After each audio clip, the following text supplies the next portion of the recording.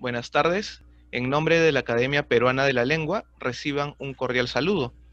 En esta oportunidad vamos a dar inicio a la última sesión del curso Salud, Enfermedades y Epidemias en la Historia, a cargo de la doctora Cristina Flores. Les recordamos que en el chat de esta publicación van a encontrar allí el link para registrar su asistencia.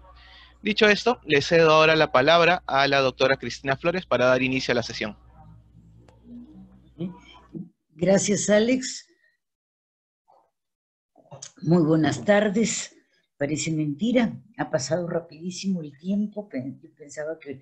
cuatro sesiones era así como muy, muy extenso y ha resultado verdaderamente corto el tiempo para todo lo que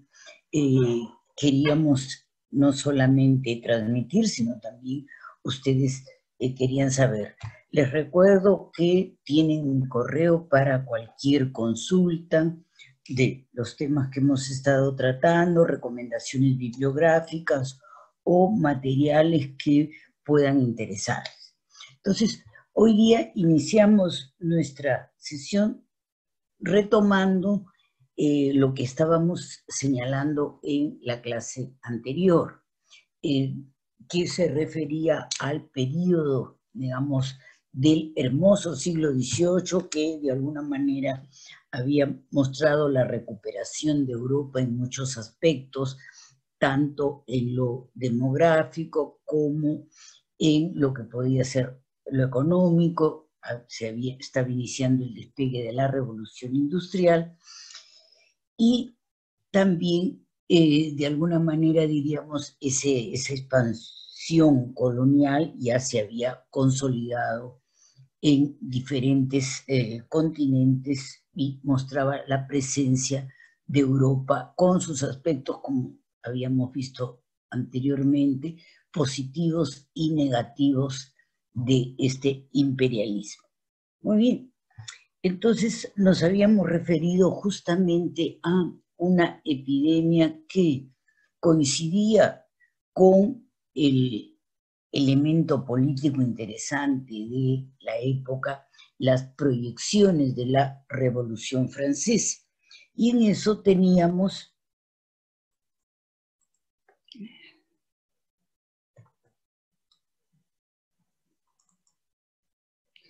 eh, una una imagen ahora diferente a la que habíamos visto anteriormente. La, la última clase habíamos visto cómo los ejércitos napoleónicos se habían visto afectados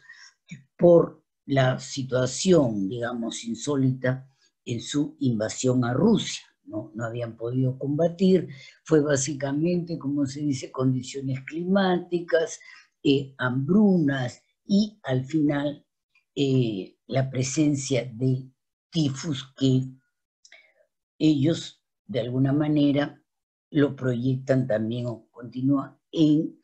en su país de origen o el país de origen de la mayor parte de estos soldados. Y acá tenemos una interesante imagen que nos ofrece, digamos, el estado lamentable en que están estas tropas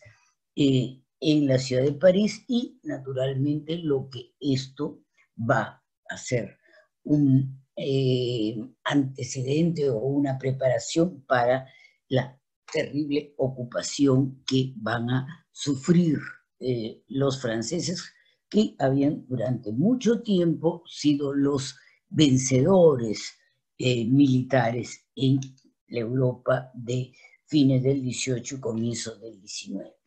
el gran problema en estas epidemias es, como hemos señalado en muchos casos, eh, una condición, en cierta manera, estructural en las sociedades y que todavía se siente hoy día, quiera, por una parte, la falta de,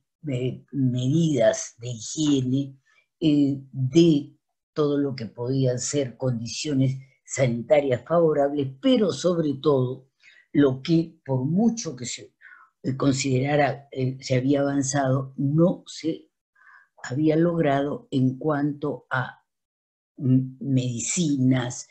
eh, formación médica y especialmente la existencia de eh, lugares adecuados para eh, la cura de estos enfermos. Entonces, tenemos esas condiciones a través de los siglos que habíamos señalado, pero también se agrava en este caso con situaciones de momento, una sociedad, digamos, empobrecida, una sociedad que tiene que hacer frente a lo que es eh, la derrota y los problemas en todo lo que significa el, lo económico, la escasez, eh, inflación, etc. Entonces, mm, tengamos en cuenta que esta situación será posteriormente, eh, digamos, mm, mejorada, pero Europa va a seguir viviendo lo que podríamos eh, señalar problemas procedentes de otras sociedades y de otras eh, epidemias. La siguiente que tenemos es eh, básicamente una situación que no es realmente un problema de epidemia o pandemia, sino es una condición que se ha ido eh, presentando en épocas anteriores, pero no de la manera tan grave como se va a ver con el despegue de la revolución industrial. A mí siempre me gusta cuando converso con mis alumnos, cuando tratamos de estos temas, de eh, los cambios, eh, digamos, tecnológicos y económicos que han venido con eh, la industrialización, recordar que es cierto que nosotros hoy día a veces no, no reparamos, no nos damos cuenta de la sociedad tan diferente que es la actual de aquella que existía en la época preindustrial. Y sobre todo, no nos damos cuenta de lo que ha sido, de alguna manera, eh, la gravedad de estas eh, condiciones en los primeros tiempos de la revolución industrial, que la industrialización en gran parte se ha construido, diríamos, en base a eh, explotación, miseria de grupos muy numerosos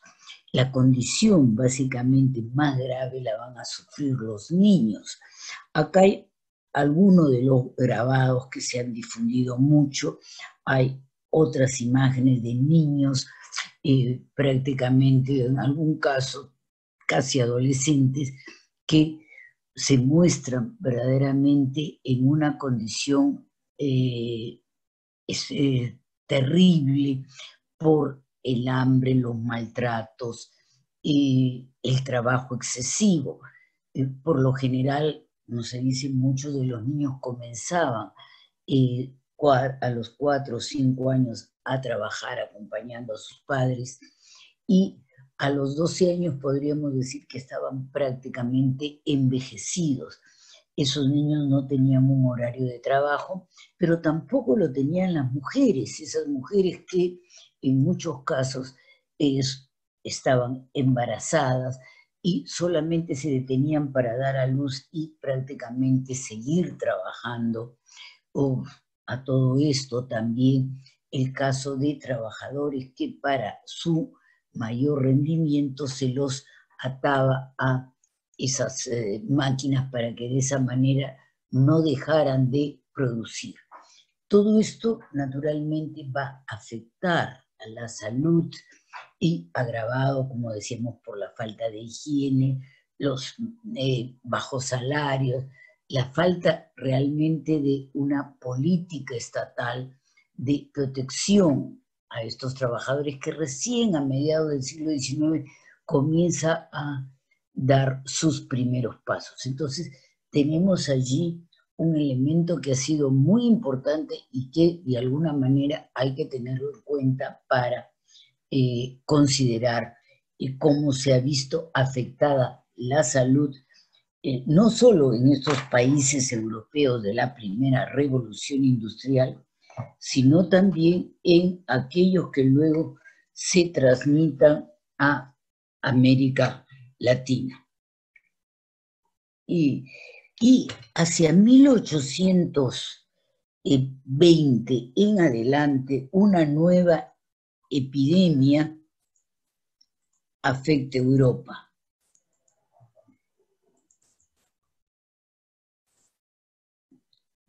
Es la peste del cólera, una enfermedad proveniente de la India. Son básicamente los soldados de, la, de, esta, de este imperio británico que al regreso a su país de origen eh, contagian a la población, no solamente se va a difundir en Inglaterra, sino va a llegar a otros lugares. Tenemos imágenes, sobre todo de grabados, de lo que eh, significaba esta mm, enfermedad en el continente. Tenemos la siguiente, me parece que es, si no me equivoco, un grabado. Ese grabado eh, lo que nos está señalando es que el cólera, esta epidemia, básicamente está reinando, se está imponiendo en el mundo europeo. Y naturalmente tengamos en cuenta lo que de alguna forma eh, puede tener eh, o puede, perdón, eh, considerarse importante para lo que es, el, digamos, el medio ambiente para este, esta epidemia. No olvidemos, como hay que recordar que en muchos casos la ropa en la época preindustrial, a inicios de época industrial, eh, en invierno o en épocas de eh, temperatura más baja, prima el uso de la lana y las pieles. Y estos materiales son básicamente un caldo de cultivo para eh, muchos de los microbios que estaban ya eh, que estaban presentes y ayudan mucho a eh, aumentar no solamente los contagios, sino el riesgo de la enfermedad. Entonces, hay que tener en cuenta que también el cambio en lo que va a ser el tipo de tejidos, más el avance en textiles de algodón más adelante, lo que va, vamos a ver ya en el siglo XX, los sintéticos también serán un elemento que ayude a cambiar la situación, pero sobre todo también tengamos en cuenta eh, lo que de alguna manera se van imponiendo cada vez más medidas eh, de limpieza en cuanto al lavado de la ropa, en cuanto a su conservación. Como se dice en muchos casos, eh, los cambios de la industrialización han ido, es verdad, eh, mejorando mucho las condiciones de las clases más favorecidas, pero también de alguna manera las clases menos pudientes van a ir poco a poco accediendo a los cambios que se den en esas sociedades. Y lo que es importante también en el siglo XIX, y atención, esto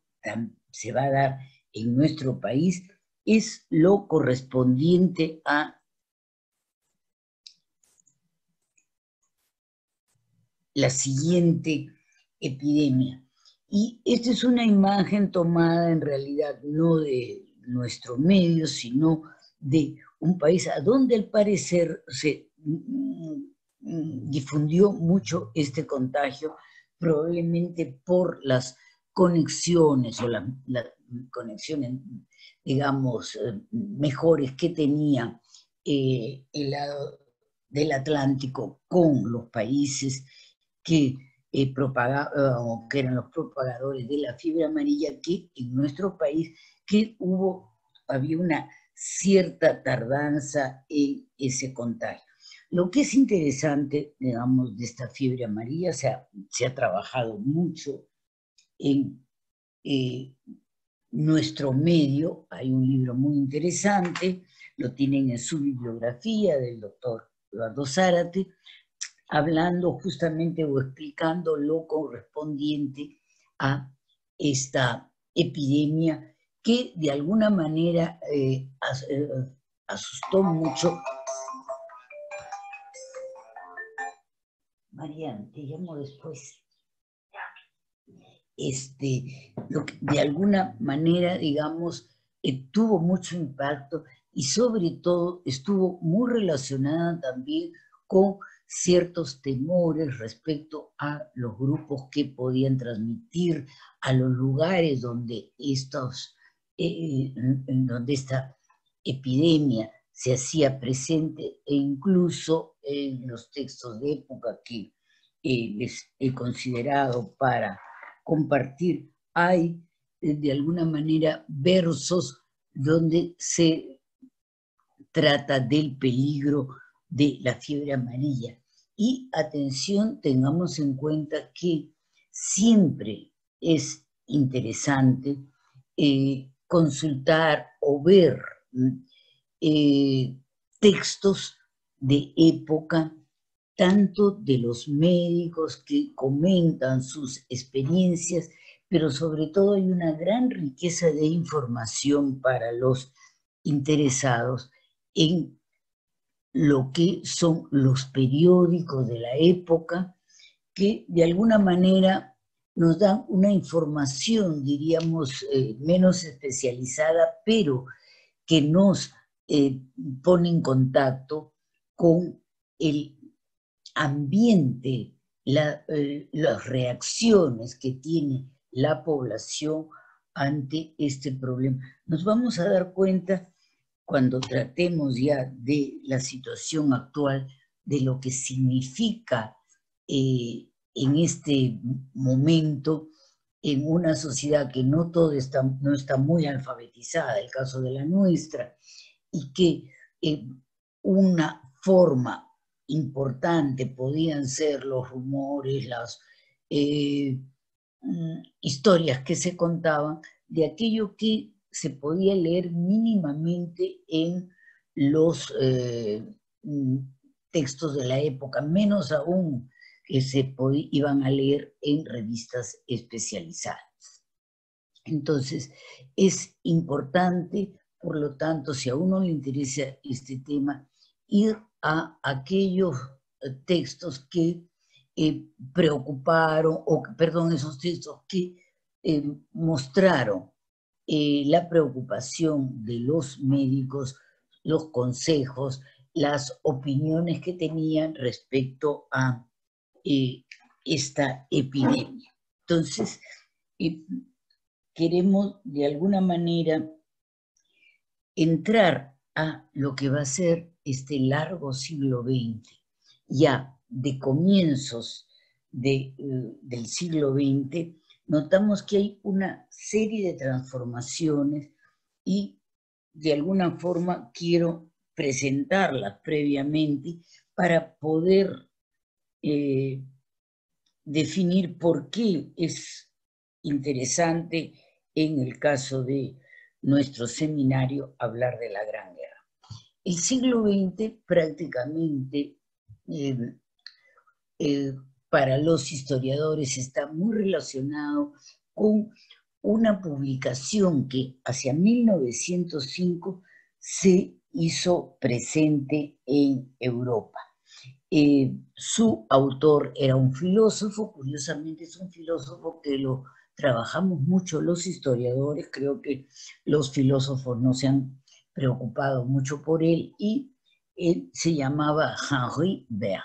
Henri Berg es un personaje interesante, tiene, diríamos, una visión muy eh, novedosa en cuanto a lo que podrían ser eh, los alcances de las ciencias humanas dentro del saber de la época. Él sobre todo se interesa mucho por aspectos que puedan relacionarse con el análisis, la síntesis de temas importantes de estudio, de relacionar diferentes áreas del conocimiento. Y esta preocupación se difunde en primer lugar en su revista de síntesis histórica, pero sobre todo en una colección que en gran parte ha tenido eh, mucho éxito y especialmente se ha difundido eh, a través de la traducción de, la,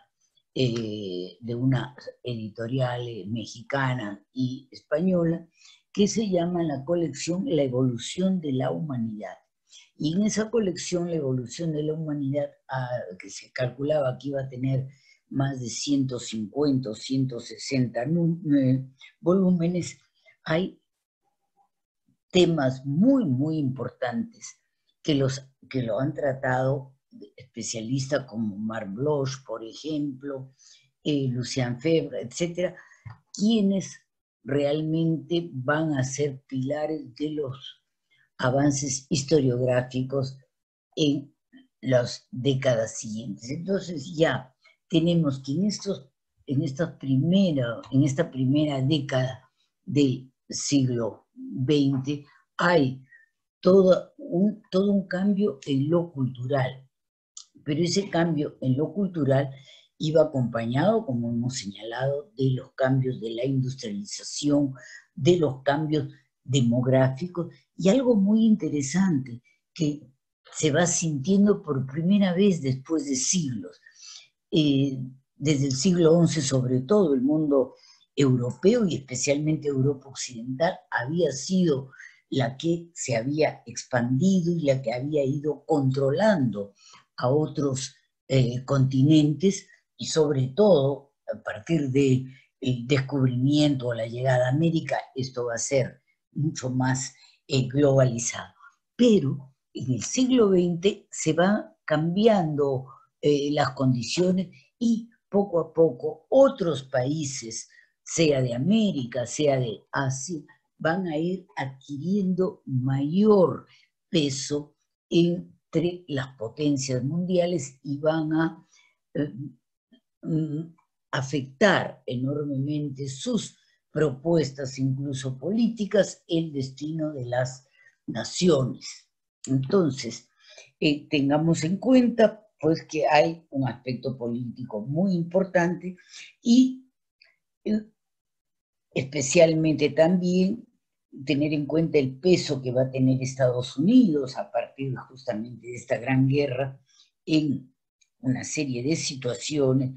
tener también presente todo lo que puede significar de alguna manera el ascenso del proletariado ya, sus eh, reclamaciones y lo que hoy día ya prácticamente está muy consolidado, el papel del feminismo, no solamente en las situaciones sociales y políticas, sino también cultural. Y cambios que van a ser muy interesantes en lo religioso, que de alguna manera ya no solamente presentan problemas de determinadas eh, religiones monoteístas, sino el tema del monoteísmo, del ecumenismo, y de alguna manera también va a ser el siglo en el cual sintamos mucho los temas que se relacionen con eh, aspectos, digamos, eh, eh, relacionados con el antisemitismo o problemas relacionados con lo que podría ser el mundo árabe, etc. Entonces, hay allí una serie de temas que queremos tratar, pero la Gran Guerra justamente es el resultado de toda una conflictividad presente en lo que había sido Europa Central y Europa Oriental, a lo que se unen eh, las eh, situaciones eh, a veces poco claras en cuanto a sus mm, inclinaciones o alianzas en el mundo de Europa occidental. Muy bien. Y la Gran Guerra fue toda una sorpresa en muchos casos. Se pensó inicialmente y hasta hay toda una serie de testimonios de los soldados que iban a combatir y poco menos lo veían como, podría ser como un periodo corto, breve, que muy pronto regresarían a sus hogares. Calculaban algunos un mes, dos meses de conflicto y esto terminó durando casi cuatro años. Y en esos eh, conflictos estuvieron presentes las, las dos alianzas más importantes existentes y que de alguna manera cambiaron mucho una parte por la intervención desde 1915 de Estados Unidos en la guerra, que fue verdaderamente lo que favoreció mucho al grupo de sus aliados, pero sobre todo por un cambio que va a ser eh, trascendental en las décadas siguientes, lo que va a ser la revolución en eh, Rusia y especialmente eh, la toma del poder, digamos, por Lenin y sus seguidores. Y lo que se ha mostrado mucho siempre uno encuentra de las, eh, de las imágenes de esta guerra es aquello concerniente a las condiciones en que vivieron estos eh, combatientes, realmente deplorables, terribles. Eh, hay que leer de alguna manera los testimonios. Yo no he incluido algunos de estos temas, cartas, poesías, inclusive en algunos casos novelas que se han escrito, eh, porque preferí más bien dedicarme a lo que fue realmente gravísimo, mucho más impactante, pero que curiosamente en los libros de historia ocupan un lugar ocupa un lugar mucho menor. Y nos referimos al caso de la gripe española.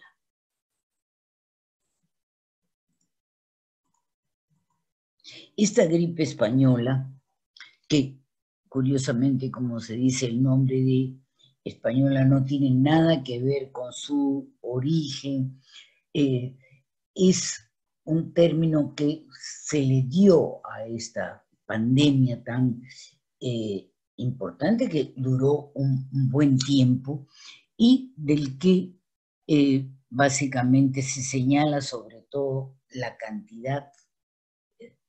enorme de afectados y sobre todo insistiendo que este número de contagiados, fallecidos, superó de lejos a aquellos que habían muerto en combate. Hay muchos, hay muchos eh, digamos, eh, elementos a considerar cuáles fueron las condiciones en las que se desarrolló, por qué verdaderamente fue tan grave su impacto, con qué Mm, condiciones sanitarias, higiénicas, demográficas, etcétera, tuvo que eh, ver este problema y sobre todo acá tenemos un gráfico, yo eh, no pude conseguirlo en castellano, entonces tenemos aquí toda la cantidad, digamos, de muertos que se han dado. Y lo que es interesante señalar eh, es justamente esa presencia de lo que son esas oleadas o mm, mm, periodos de aumento, descenso, recuperación, los rebrotes que se van a ir dando. Entonces, es importante porque acá es solamente el periodo del fin de la guerra, diríamos, hasta 1919. Tenemos lo que podríamos decir un año, pero eh, las eh, secuelas se sintieron en los años siguientes. Pero naturalmente, lo que podríamos decir, el impacto o el resultado de la Gran Guerra, lo que había sido la victoria de los países occidentales, eh, dejó de lado otro tipo de preocupaciones y sobre todo como se ve en prácticamente la década siguiente, el, tema importante ha sido básicamente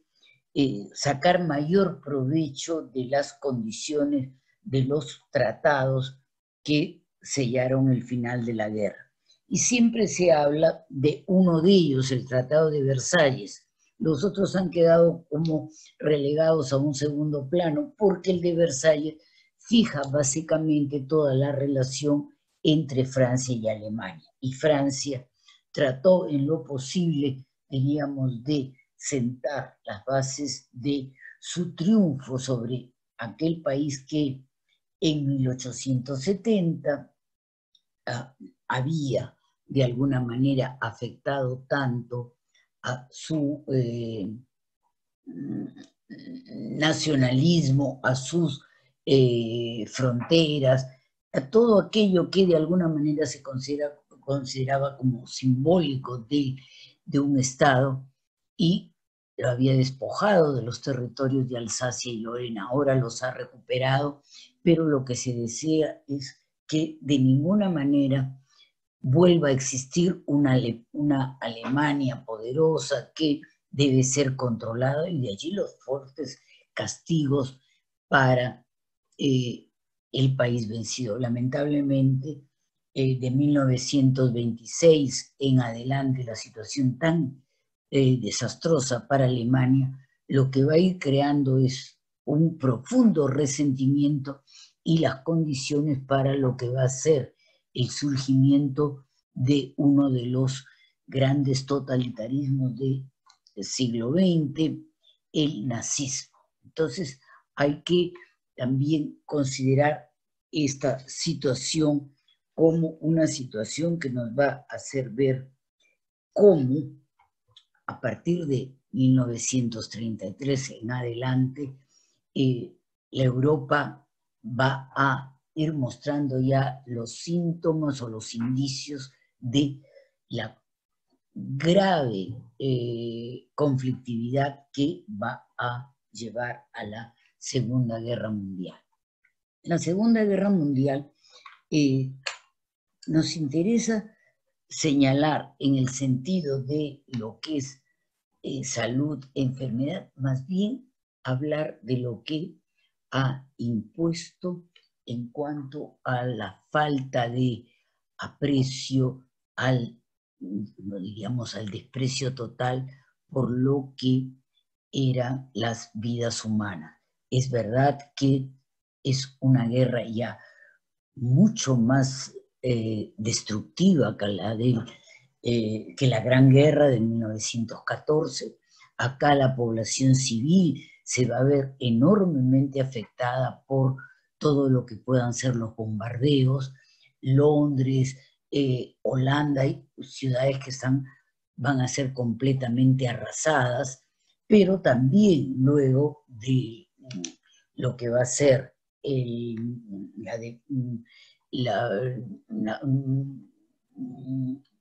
el debilitamiento de los nazis, eh, Alemania será igualmente bombardeada y es una situación no solamente eh, traumática, eh, terrible en lo que pueda ser las pérdidas demográficas, la destrucción de la ciudad, la pérdida de muchos tesoros artísticos de obras de arte,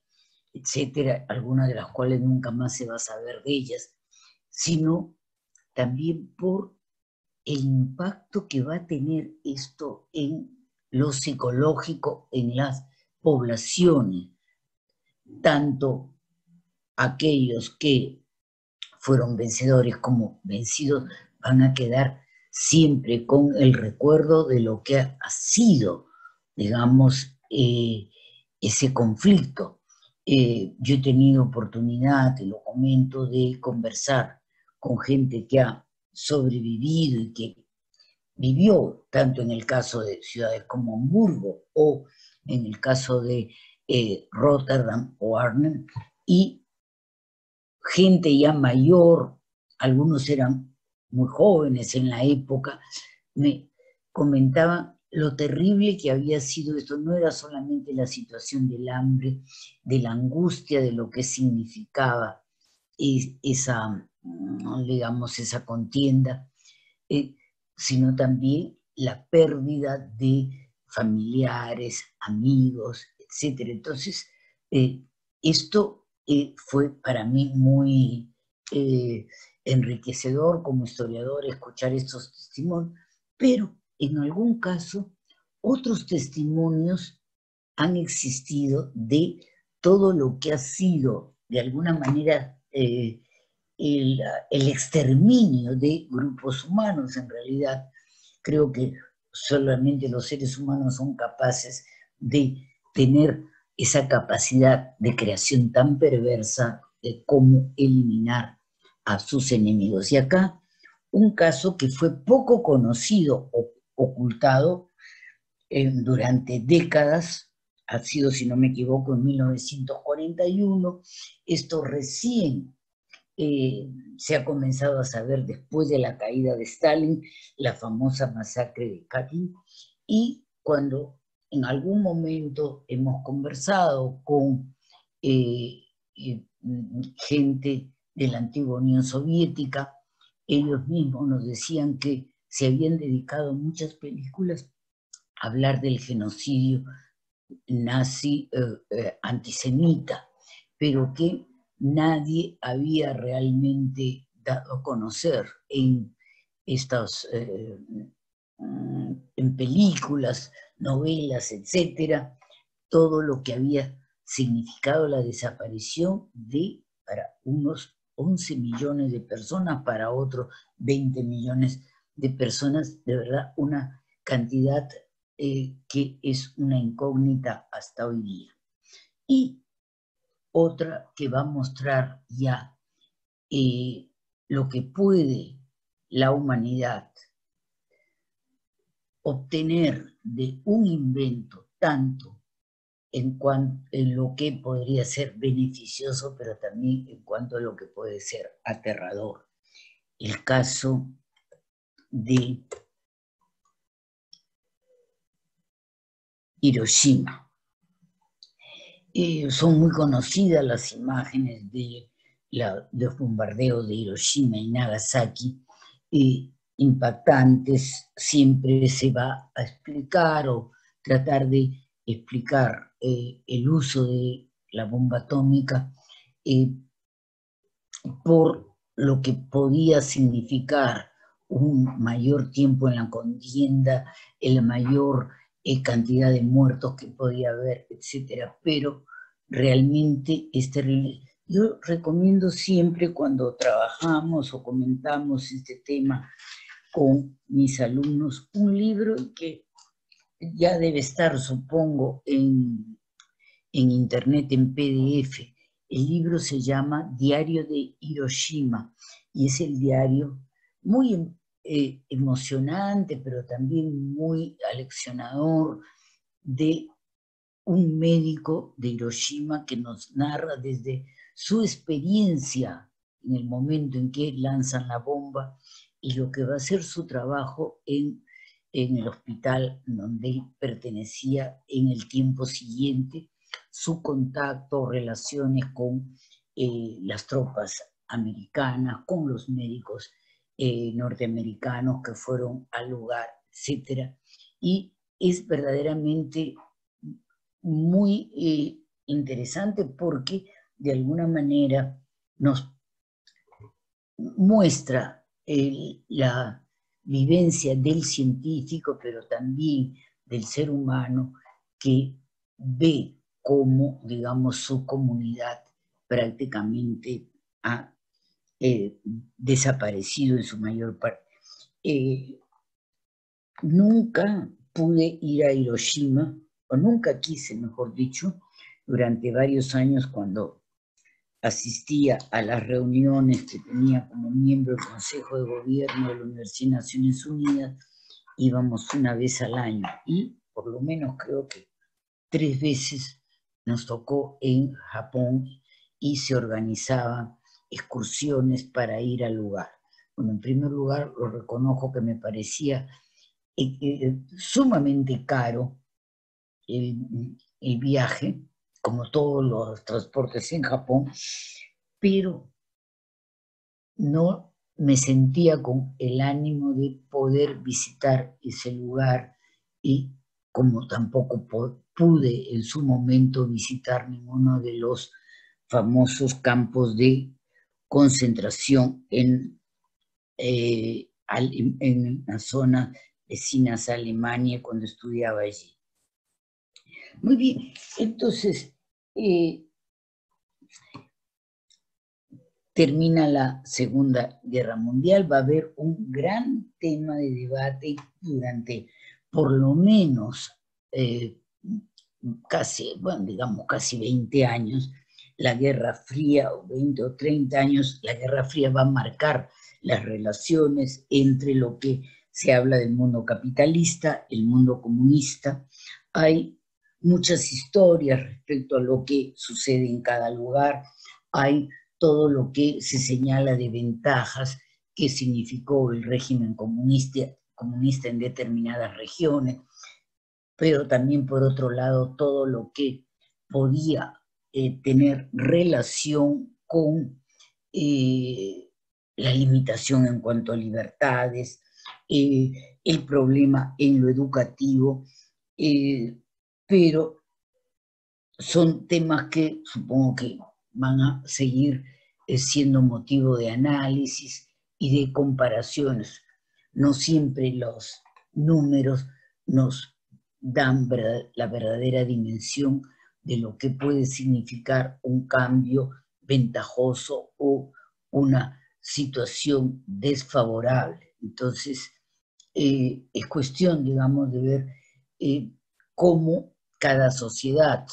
encuentra su camino y si ese camino verdaderamente puede ser el, no solamente el más exitoso, sino el más auténtico para el desarrollo de sus sociedades. Y bien, en esas décadas hay muchos avances y esto es lo importante, porque ¿no? vamos a ir viendo, y esto yo lo, les recomiendo mucho, la revisión de eh, información que se puede encontrar a través de ciertos sitios en Internet que nos dan a conocer lo, lo que es, por un lado, el avance en la medicina, en los medicamentos, pero también aquellos que nos van indicando cuáles son los problemas en,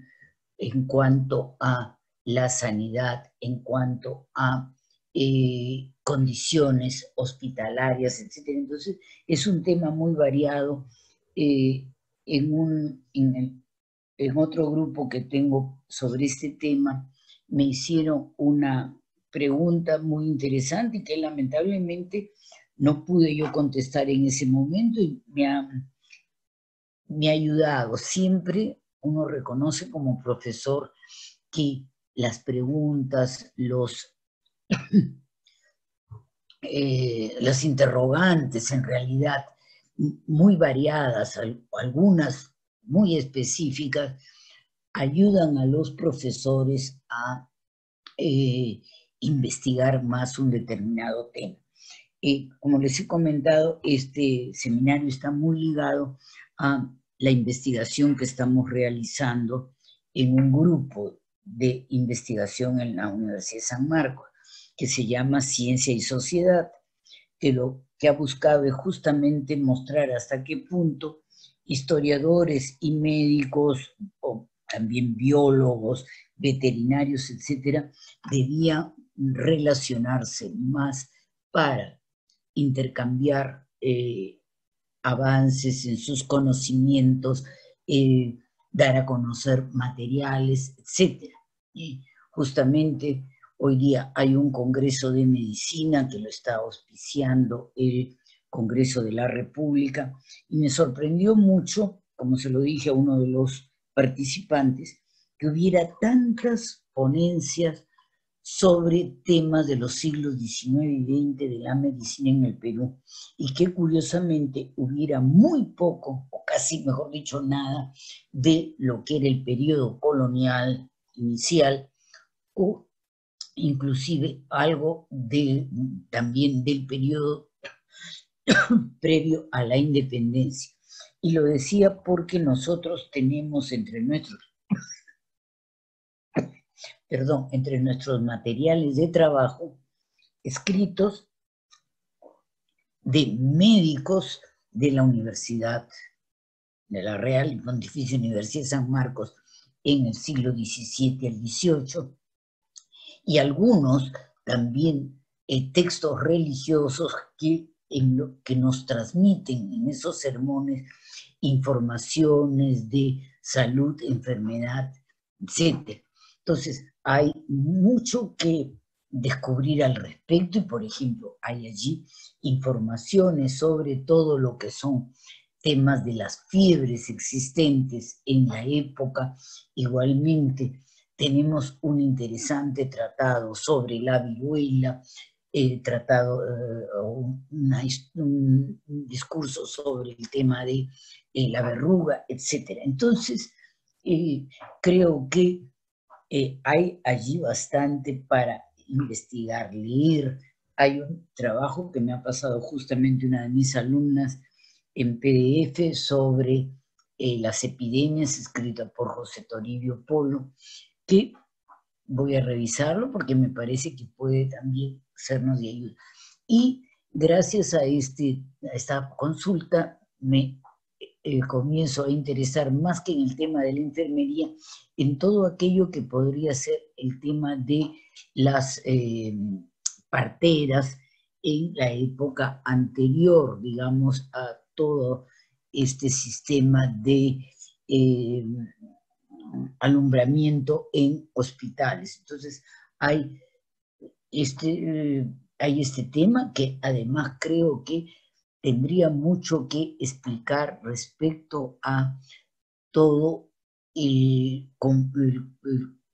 complejo problema, digamos, o la situación a veces muy debatida respecto a las razones de la alta mortandad infantil en la época preindustrial o inclusive en nuestro medio hasta la actualidad. Entonces, creo que es muy importante, pero lo que ahora tenemos que ver es que no hay mucho, no encuentro todavía mucho en publicaciones verdaderamente, mm, digamos, eh, formales, en colecciones, es lo que son las enfermedades eh, y especialmente epidemias en las últimas décadas. Un caso es famoso caso de los pacientes de ébola, muy difundido el caso eh, o esta situación en África, y que de alguna manera este, se muestran las condiciones también de esto, de estos tratamientos en países a los que eh, ha llegado el contagio. Eh, fuera del caso de ébola, un aspecto importante, no sé si todavía tenemos creo que alguna diapositiva más.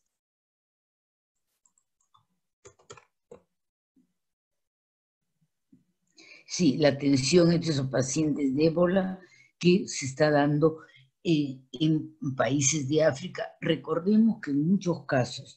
eh, estas epidemias o pandemias están de alguna manera muy relacionadas con la tareas, las, eh, diríamos, eh, mm, ayudas que da la Organización Mundial de la Salud o los equipos de Naciones Unidas. Acá tenemos, en este caso, de la Organización de, Naciones Unidas de Ayuda para el Desarrollo. Y no he puesto allí, pero sí creo que sería interesante referirnos a lo que fue eh, impactante cuando comenzó su eh, desarrollo, que es el caso del SIDA. Eh, recuerdo mucho esto porque en ese momento yo estaba haciendo una estadía en Estados Unidos y curiosamente descubrí algo que nosotros no teníamos entonces en nuestras redes de televisión, aparte de cantidad de, telenovelas absurdas que había en Estados Unidos, había canales dedicados especialmente al tema de salud,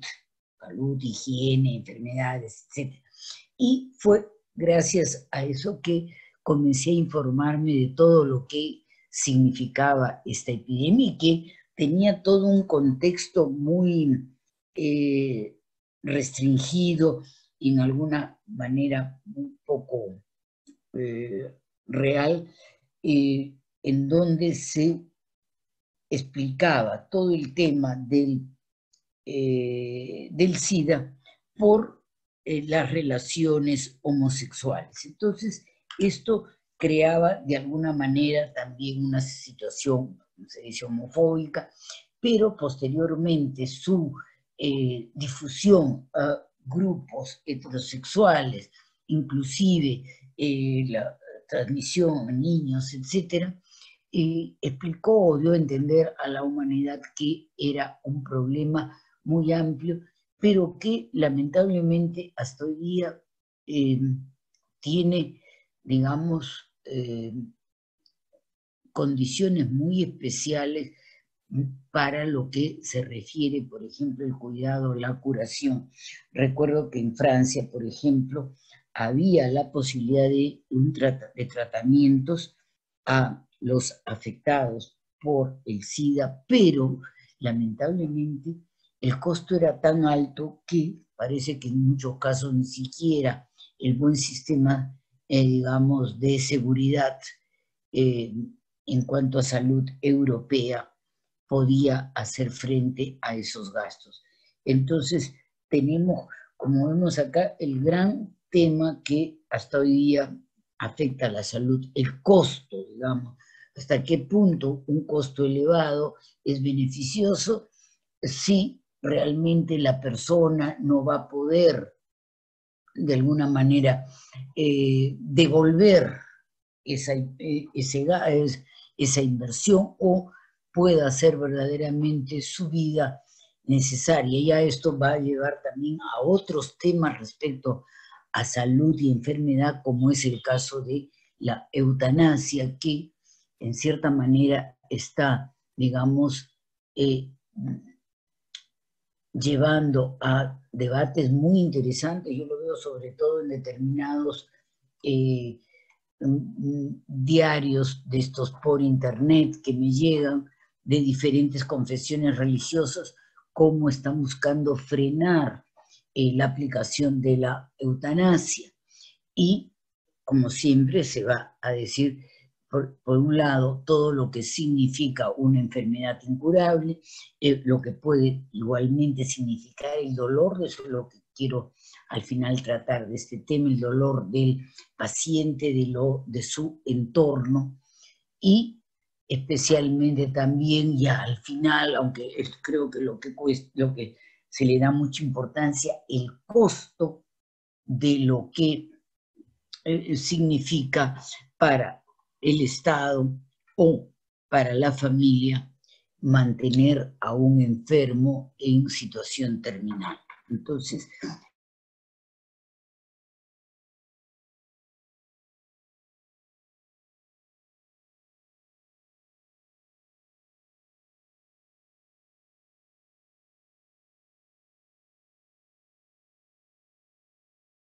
de que tuvieran buena salud, que fueran fuertes, que pudieran ser buenos combatientes. Y al final prácticamente esa sociedad terminó agotada y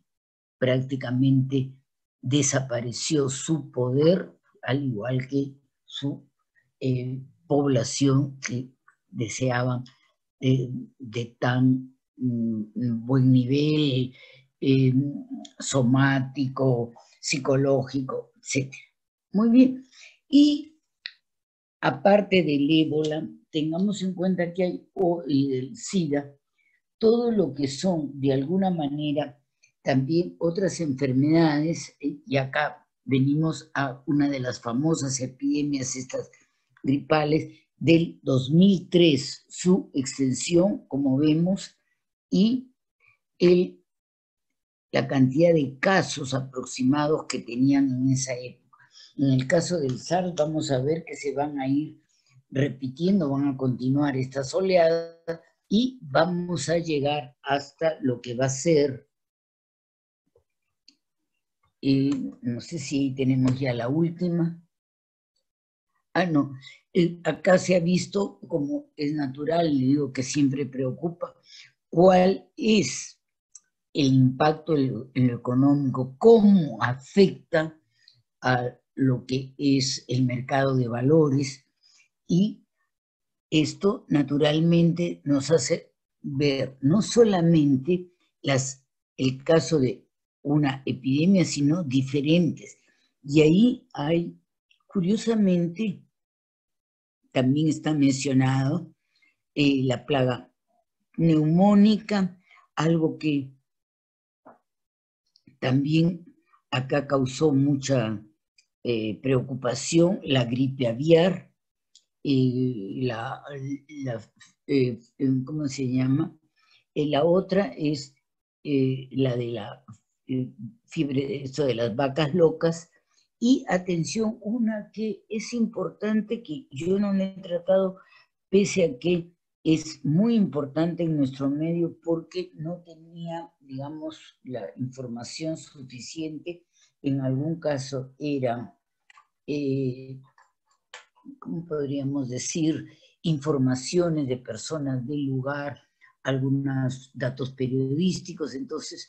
no podía ser verdaderamente presentado en toda su magnitud y en toda su gravedad. Y hablamos del caso del dengue. No olvidemos que el dengue afecta mucho a poblaciones nativas, especialmente las poblaciones amazónicas. Y recuerden que así como esta epidemia han habido otras anteriores en esas regiones que han afectado enormemente a, eh, a esos grupos, aparte de lo que fue el terrible impacto de eh, eh, las violencias sufridas, sea por la explotación del caucho, sea por el terrorismo, etcétera, y que en muchos casos pasan totalmente desapercibidos en entre las preocupaciones, digamos, no solo de la población urbana, sino también del Estado. Y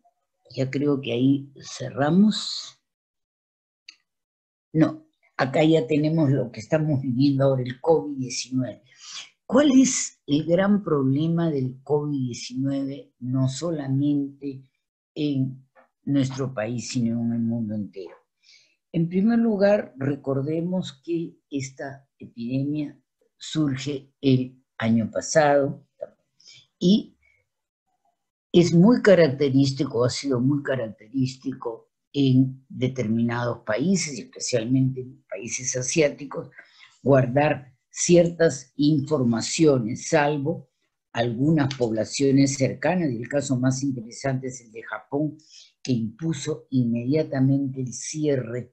a todo lo que sería su relación con China y otros países que estaban mostrando el impacto del COVID-19.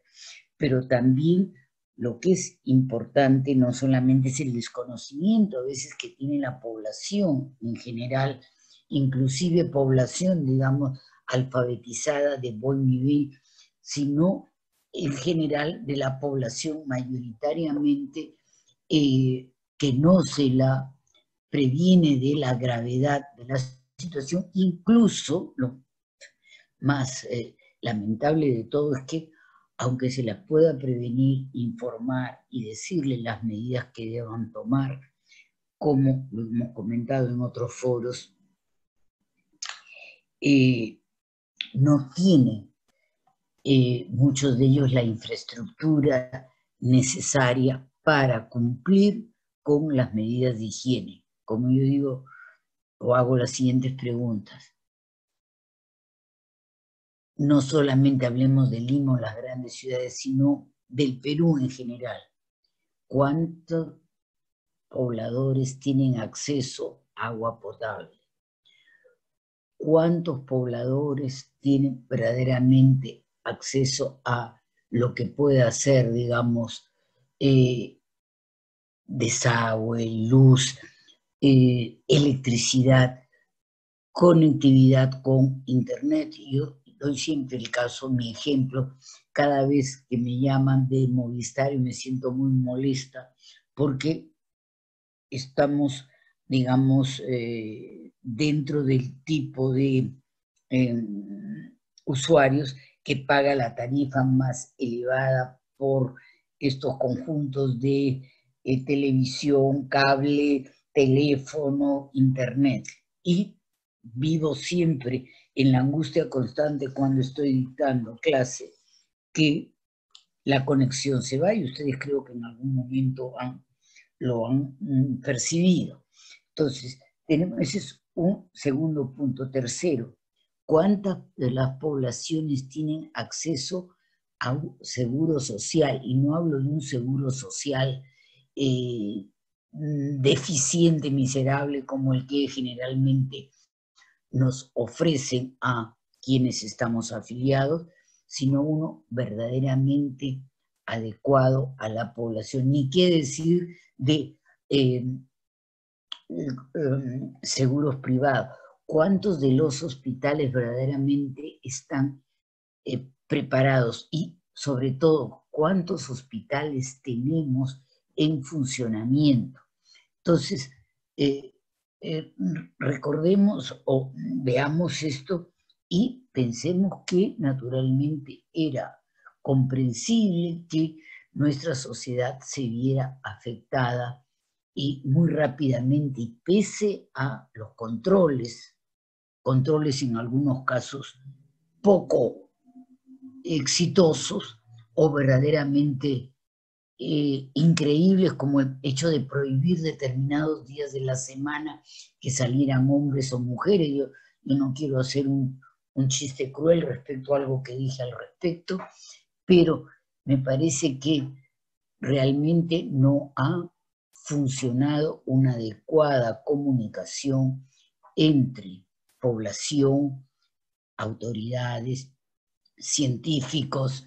etcétera, para poder de alguna manera, eh, y sobre todo una población acostumbrada a la informalidad en todo sentido desde hace décadas, donde realmente no se tienen en cuenta las obligaciones. Es el país donde manejar, para mí yo digo manejar es un riesgo, no tanto a veces por uno misma o por otro conductor, sino por los peatones que cruzan por donde no deben, que hacen realmente malabares increíbles en las pistas. De verdad, son situaciones que podría uno escribir el cuento de las mil palabras y nos faltarían eh, palabras para describir esta informalidad, este incumplimiento de las normas. Entonces, gente que de alguna manera desea, y todos lo deseamos, distraernos, estar con la familia, eh, celebrar nuestro cumpleaños, etc., no es posible y de alguna manera es lo que eh, se va a mostrar en estas muertes masivas y donde además es hasta penoso eh,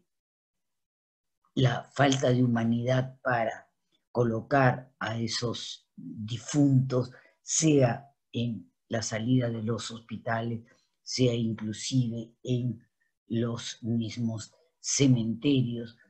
sea la falta de eh, diríamos,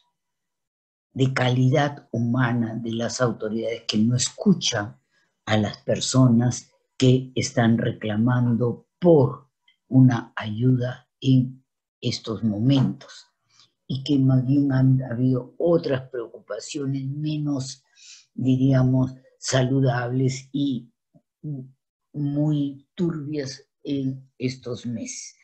Pero yo quisiera ya concluir con este tema y referirme de alguna manera a lo que habíamos comenzado cuando tratamos este,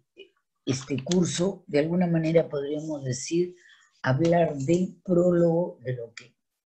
queríamos mostrar inicialmente el por qué se hacía este seminario y luego llegar a lo que sería el balance de nuestro eh, trabajo. En primer lugar, lo que era importante era mostrar que desde los inicios de la humanidad, recuerda, eh, tanto en civilizaciones como Egipto, eh, y antes todavía en Mesopotamia, han habido siempre, como diríamos, dos vías eh, importantes para tratar las enfermedades, que era la vía, diríamos, de los científicos, de los médicos, de aquellos que se preparaban para esta tarea, y por otro lado, aquellos que mantenían un saber tradicional, el saber de lo que podríamos llamar curanderos, hechiceros, también chamanes, etcétera,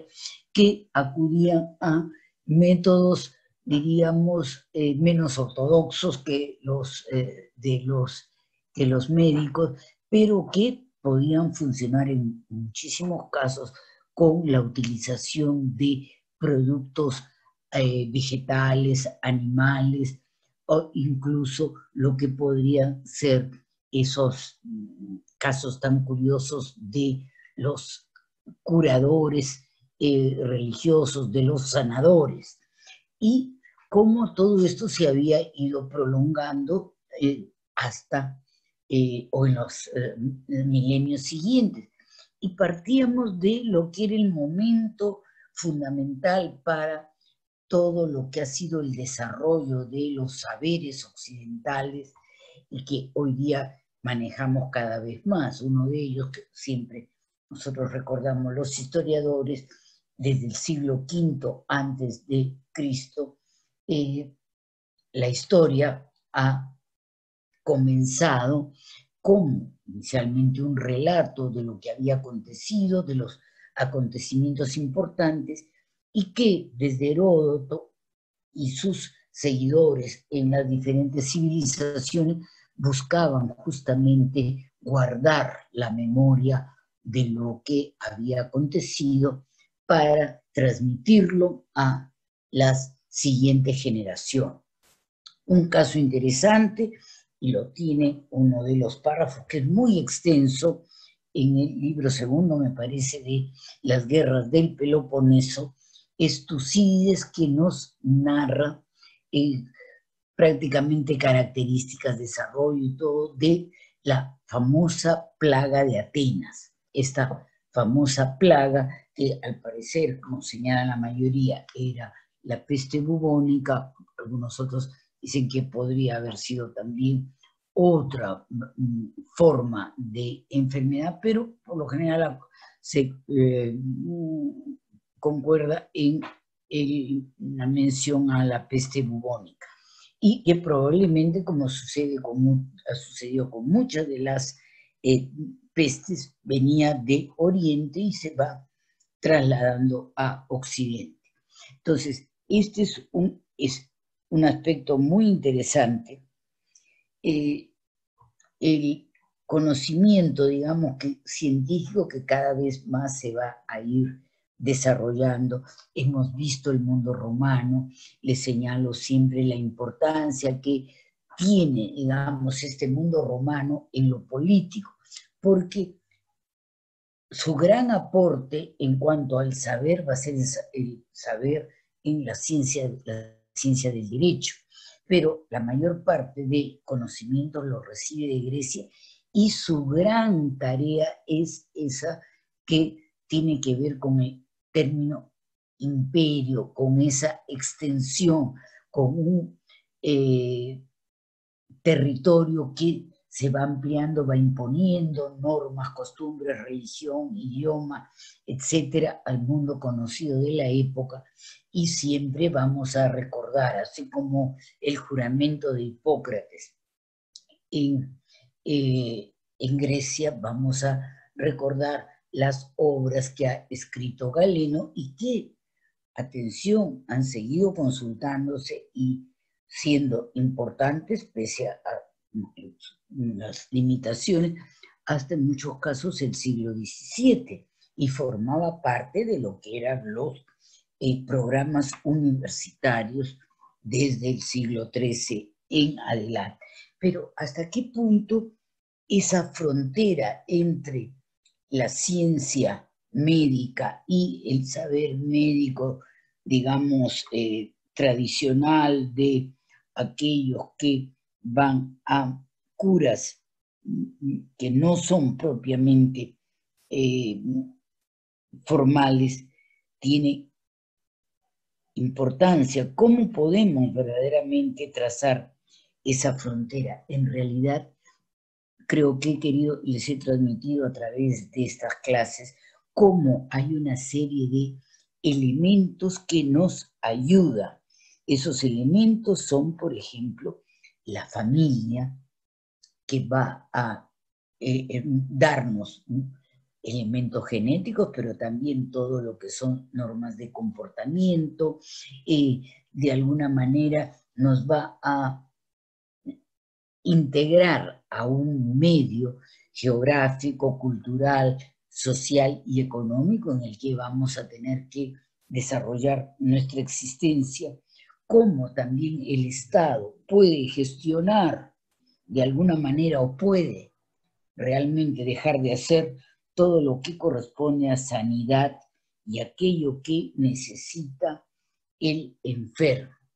Y no olvidemos ahora sí lo interesante, desde hace más o menos, diríamos, 50 o 60 años,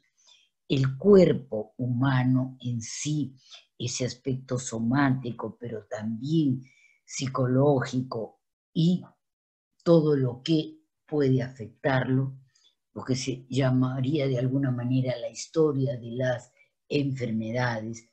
interesa mucho a los historiadores. Eh, de la historiografía francesa que ha dado tantas variantes o eh, preocupaciones para eh, el estudio llegamos a lo que va a ser estos em, tendencias que a inicios del siglo XXI se preocupan de las emociones, de los sentimientos, de la sensibilidad, y todo ello tiene que ver también con aspectos medicinales. ¿Quién hace tres o cuatro siglos hubiera hablado de lo que podía ser eh, el estrés o cómo realmente se luchaba con la marginalidad, digamos, marginación que una sociedad eh, ofrecía a determinados grupos religiosos, humanos, etcétera, como, digamos, la exclusión de quienes eran atacados por la lepra, quienes de alguna manera tenían alguna deficiencia física o mental, eran rechazados. Hoy día tenemos ya obras muy interesantes respecto, por ejemplo, a lo que puede ser la historia de la locura, eh, la, la historia también de aquello que se relaciona con eh, el antisemitismo, etc. Y la enfermedad, como dijo uno de sus grandes especialistas, Mirko Jeremek, ah, es no solamente una idea, es, dice, una realidad empírica muy compleja. Y es cierto, hemos visto que las enfermedades nos conducen a algo que afecta mucho que nos preocupa a todos. Creo que hay pocos que dirían que el tema de la muerte, de su desaparición de este mundo, no eh, les causa en algún caso preocupación, desazón. Y tengamos en cuenta que si bien la enfermedad no pertenece, como ha dicho el a las historias de progresos científicos y tecnológicos, sino también la enfermedad pertenece a lo que es la historia de las, eh, de los, de las prácticas y de los saberes médicos, también es parte de la historia de las instituciones y de las representaciones de las mentalidades. Y cada vez más la enfermedad ha salido desde la modernidad en adelante del ámbito familiar, de la casa del enfermo, en algún caso específico del médico personal de una familia, ha salido lo que se llamaban inicialmente eh, eh, eh, hoteles de Dios o también nosotros le decimos los hospitales, el hotel de la enfermedad, como se podría llamar. Y al hablar de enfermedades también nos tenemos que preocupar de los sufrimientos, por eso yo les hablaba de las sensibilidades, de las emociones, porque en cada oleada coyuntural de las epidemias vemos lo que es también eh, el sufrimiento de la población e igualmente nos damos cuenta y lo hemos visto, que esa oleada, digamos, eh, esa ola de, una coyuntura determinada está en relación con las olas estructurales que pueden tener estas pandemias. Es, de todas maneras, pensemos una historia muy dramática porque hay siempre el horror a la enfermedad, el miedo, el temor, el horror inclusive a los aspectos feos de las enfermedades. Recuerdan cuando hablábamos de la viruela, especialmente esa mm, mm, viruela que marcaba tanto los rostros de las mujeres, de los niños, pero igualmente eso enfrenta a todo lo que puede ser la mirada eh, desagradable, de rechazo que pueden tener otros individuos u otras sociedades respecto a la lepra, a la sífilis, a la tuberculosis. No olvidemos eso hasta muy avanzado, el siglo XX ha sido muy mal vista la tuberculosis, inclusive, como ya hemos señalado, hasta el cáncer o el SIDA pueden causar temor el temor del contagio, y de alguna manera es todo aquello que en una sociedad que ha ido apreciando determinadas formas de belleza o menospreciando la fealdad, es importante que nuestra sociedad tenga que encontrar un camino a las enfermedades para muchos ha sido a través de la eliminación de todo lo que puede ser la medicalización, digamos, el acceso a eh, formas alternativas como la homeopatía. Pero también, en muchos casos, pensemos que desde el siglo XVIII y sobre todo el XX en adelante, hemos tenido una idea a veces muy eh, mm, soberbia acerca del progreso, del progreso como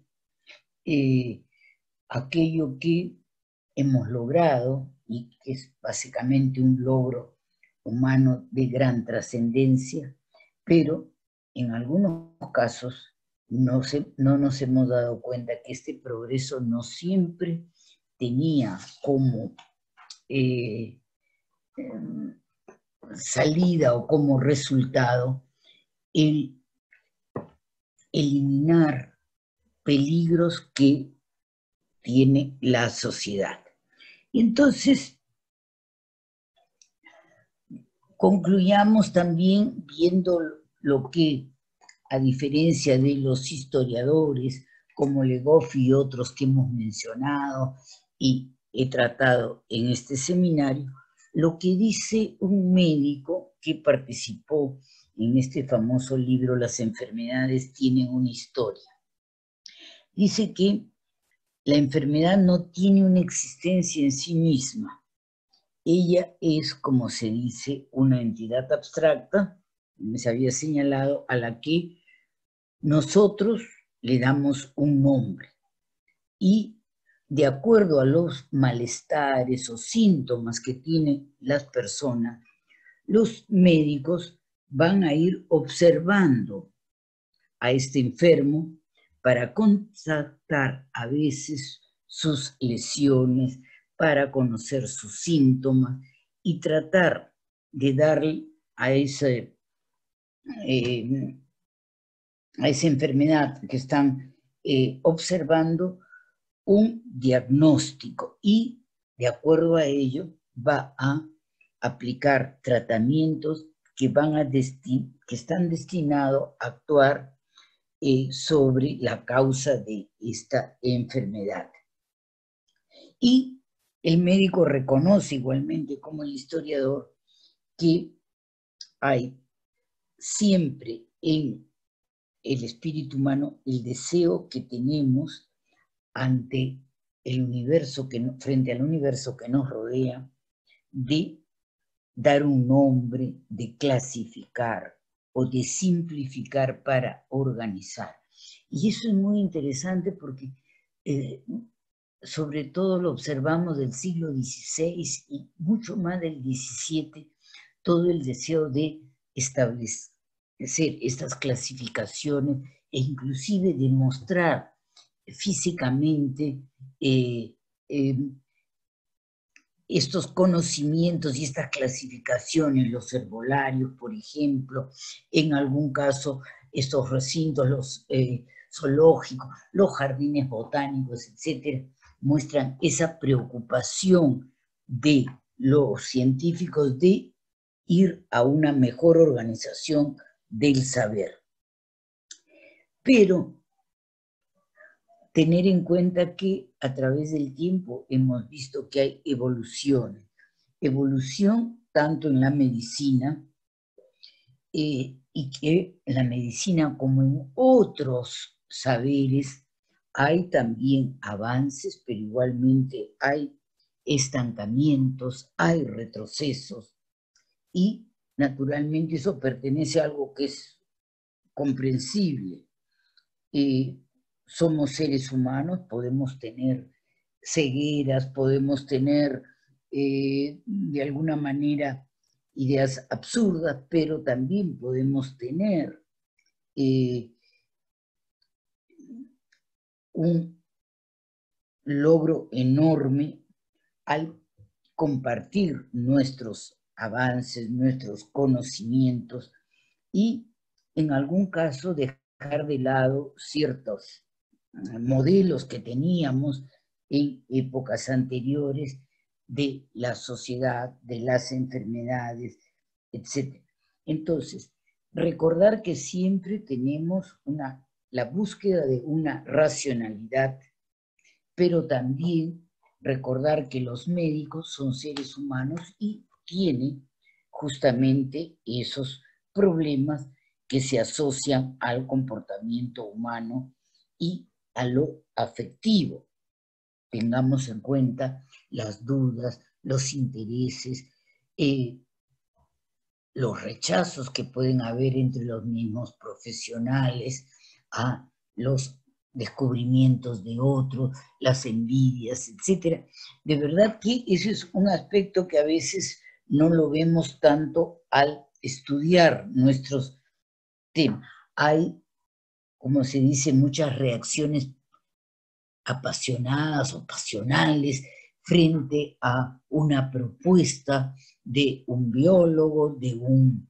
eh, médico, de un veterinario, y recordar que naturalmente ellos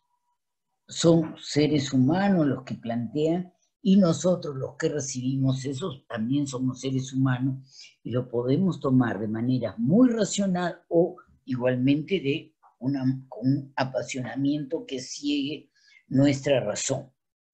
Ahora bien, lo importante será siempre que ante la presencia de enfermedades que se mantienen, que aparecen totalmente novedosas, no olvidar que debemos siempre luchar contra ellas y buscar sobre todo eh, en nuestros saberes las innovaciones, pero igualmente recordar que el saber científico que se nos transmite en cualquiera de las áreas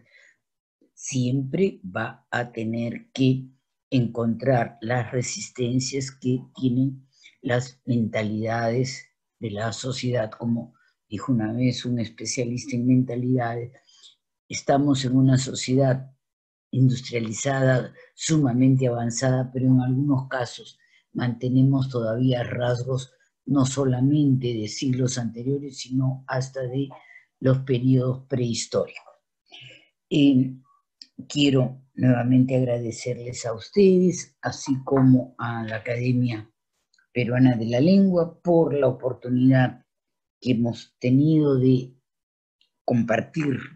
este curso y esperando en el futuro poder vernos nuevamente. Ya saben, quedo a su disposición para todas sus consultas. Muchas gracias. Alex. Muchas gracias, profesora. Muchas gracias también a los asistentes que han estado con nosotros en estas, eh, en estas sesiones. Y nuevamente les eh, reiteramos la invitación para continuar eh, con los otros eventos que realiza la Academia Peruana de la Lengua. agradecemos una vez más a la profesora Cristina Flores y con esto ya nos despedimos. Alex, buen fin de semana. Pásalo bien, descansa. Igualmente. Gracias, chao.